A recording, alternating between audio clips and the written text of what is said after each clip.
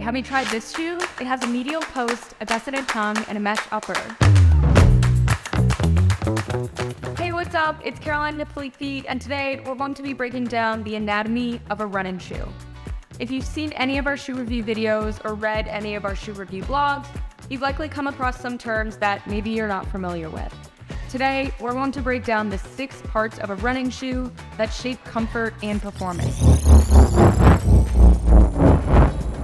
First, let's go over the upper.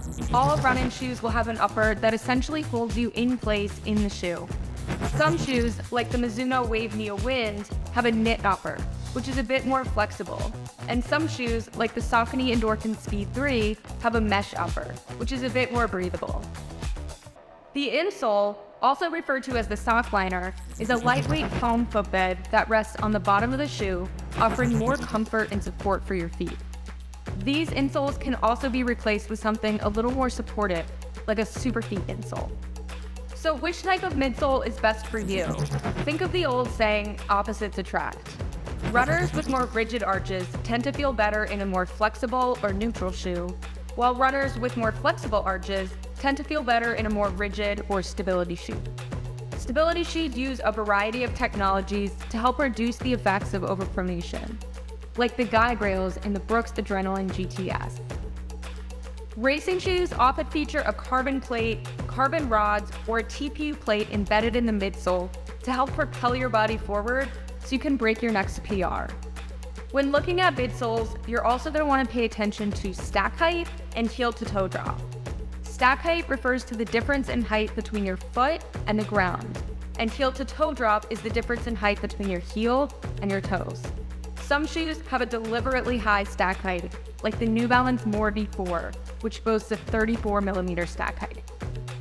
The outsole is the bottom part of the shoe that touches the ground as you run.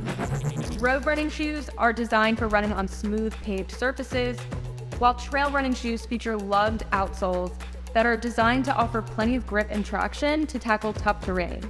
And the rubber on the bottom of trail running shoes is softer, so be sure to not wear it on the paint surfaces because it'll wear down quicker. Right under the laces sits the tongue, which serves a very important purpose. It keeps the laces from rubbing or adding pressure to the top of your foot.